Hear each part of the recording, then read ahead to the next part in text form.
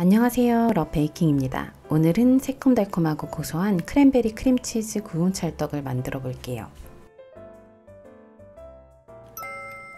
쫄깃한 식감을 내는 찹쌀 베이킹에는 입자가 더 굵고 수분이 많은 습식 찹쌀가루를 사용하시는 것이 좋은데요. 냉동 보관이 불편하신 분들은 건식 찹쌀가루를 사용하시면 됩니다.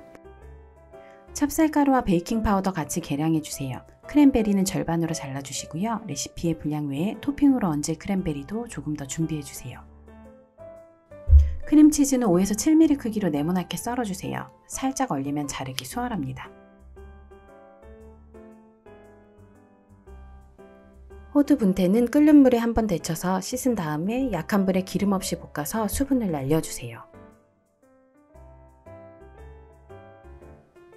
달걀, 우유, 설탕, 소금을 볼 하나에 담고 설탕이 다 녹을 때까지 섞어줍니다.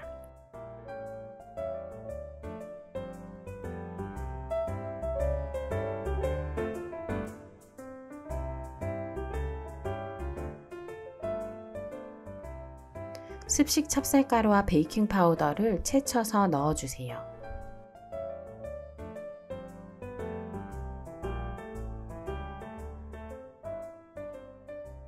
습식 찹쌀가루는 입자가 굵기 때문에 가는 채로 채를 치기 힘들어요. 채망이 좀 더 굵은 중간 채를 사용하세요. 액체 재료와 가루를 잘 섞어줍니다.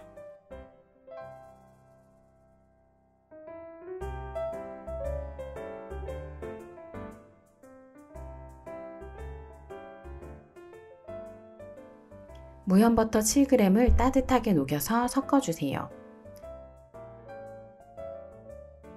녹인 버터를 넣고 나서는 주걱으로 빠르게 반죽을 섞어주세요.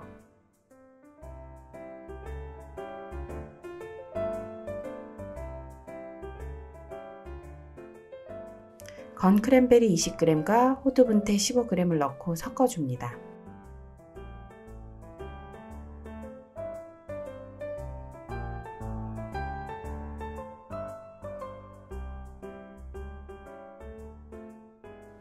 크림치즈는 40g만 반죽에 넣고 섞어주세요. 나머지 20g은 패닝을 한 다음에 토핑으로 얹어줍니다.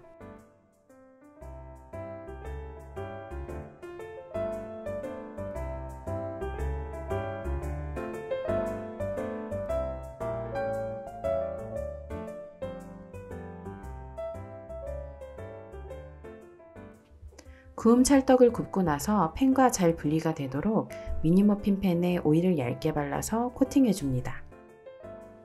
숟가락으로 반죽을 담아주세요. 90% 정도 차게 담아주시면 됩니다.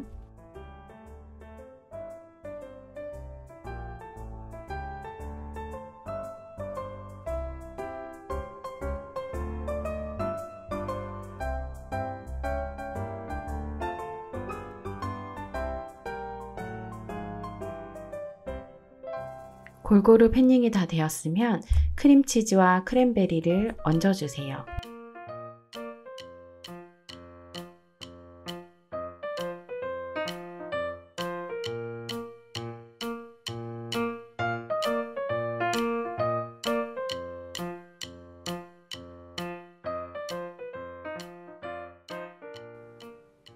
(170도로) 예열된 오븐에 22분 구워줍니다. 소형 오븐은 온도를 10도 올려서 구워주세요.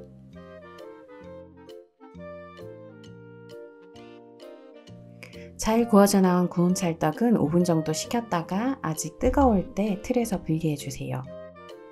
소형 스패츌러나 나이프 있으면 사용하시면 좋습니다.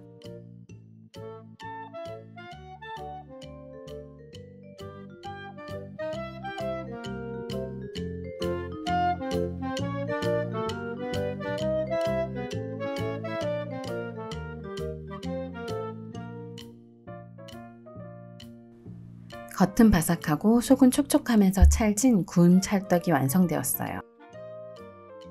바삭한 표면은 시간이 지나면 부드러워집니다. 인덕션으로도 구워봤어요.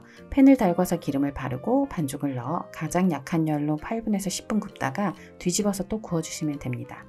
뚜껑에서 물기가 떨어지니까 키친타올을 덮은 후에 뚜껑을 덮어주세요. 냉동실에 보관해 놓고 출출할 때 하나씩 꺼내 먹기 정말 좋아요. 여러분도 꼭 만들어 보세요. 끝까지 함께 해주셔서 정말 감사합니다. 좋은 하루 되세요.